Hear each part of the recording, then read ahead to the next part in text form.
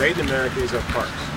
Nothing is more American than our park system, and but also the things that contribute to our experience as the outdoors, recreation. The best thing is the, the American experience, all of it, the recreation experience is in America, and the parks play an important role.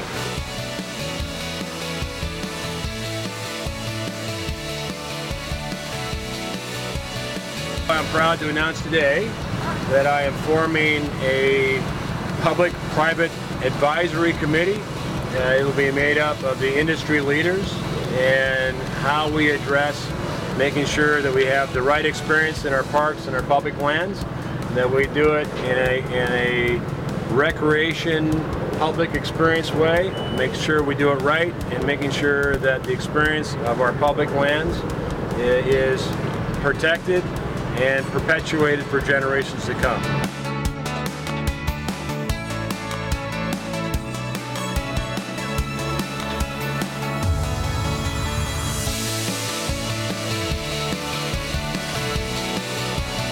Our citizens deserve the best parks experience, uh, the best recreational experience, and the best utilization of our public lands, and that's what we're going to deliver.